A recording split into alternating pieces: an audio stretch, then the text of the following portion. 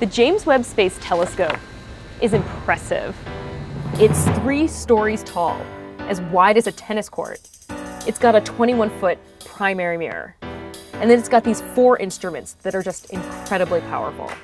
It's the largest, most technologically challenging space telescope ever created. It's 100 times more powerful than the Hubble Space Telescope, but at half the weight. It's designed to look back in time, even further than Hubble, to see the very first galaxies to form after the Big Bang. Building Webb is truly a feat of innovative engineering. Each material must survive the turmoil of a launch and the varying temperatures of space. And it all starts with the elements. This is